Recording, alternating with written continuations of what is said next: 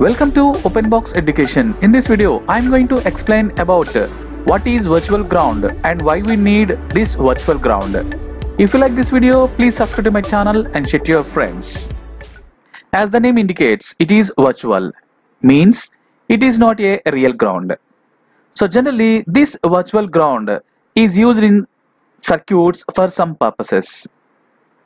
So that this virtual ground is almost equivalent to ground. In op-amp circuits, generally we will use this virtual ground concept. So here, in op-amps, the term virtual ground means that the voltage at the particular node is almost equal to ground voltage. So like that, we will consider this virtual ground. So this virtual ground is not a real ground, but it is almost equivalent to ground. So this virtual ground is not physically connected to the ground. And uh, this concept is very useful in analysis of op-amp circuits and it will make a lot of calculations very simple. So for this purpose we are using this virtual ground. So here this is the circuit which is representing that inverting amplifier using op-amp, nothing but operational amplifier. So here inverting amplifier, why? Because you are connecting that V in voltage to the inverting terminal of the operational amplifier. That is why you are calling this one as a inverting amplifier. So now we will see that the virtual ground concept in this inverting amplifier of operational amplifier.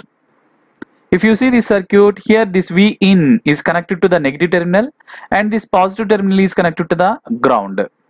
So here this positive terminal is ground and V in connected to the negative terminal and here there is a feedback resistor is there RF which is connected from V out to the negative terminal.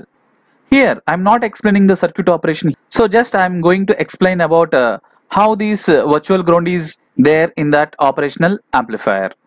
So we already know that for an ideal op amp will provide infinite voltage gain. So for real op amps also the gain will be very high such that we can consider it as infinite for calculation purposes.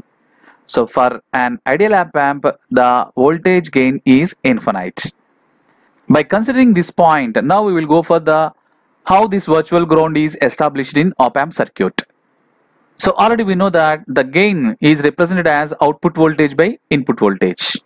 But for an op amp, the gain is infinity.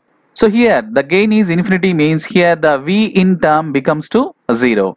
So when the V in becomes to 0, then the gain becomes to here infinity value.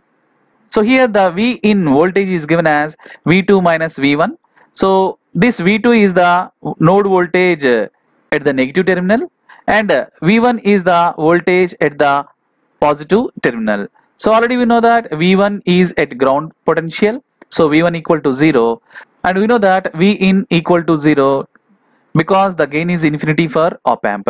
So here V1 equal to 0 and V in also 0 then automatically V2 also becomes to 0. So here at this node point the voltage V2 equal to 0. Actually it is not connected to the ground but the voltage at node V2 equal to 0. Nothing but we can say simply it is a virtual ground. It is a not a real ground which is not connected to the ground but at the node the voltage V2 equal to 0 nothing but virtual ground. So this is about the virtual ground concept used in op-amp circuits. And here why we need this virtual ground. So this virtual ground concept is very useful in analysis of an op-amp when negative feedback is employed. So for that purpose we will go for this virtual ground concept. Here there are some differences between virtual ground and real ground. So this virtual ground is a concept which is made for easy explanation and calculation purpose. Whereas this real ground is a terminal which is physically connected to the ground which acts as the reference point for the entire circuit. And in virtual ground the voltage is approximately equal to 0 but in real ground the voltage equal to 0 in virtual ground it is not able to sink the infinite current whereas in real ground it sink infinite current. In virtual ground, it is not electrically connected to the ground, but in real ground, it is electrically connected to the ground. So this is about the virtual ground concept and the differences between virtual ground and real ground. So thank you very much for watching this video. To watch more videos, please subscribe to my channel, OpenBox Education.